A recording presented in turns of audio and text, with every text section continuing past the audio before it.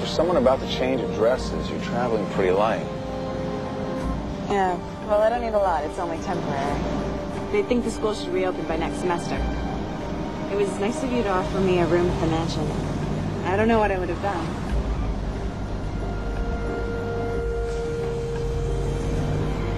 Thanks. If you're not okay with this and having second thoughts, then let's talk.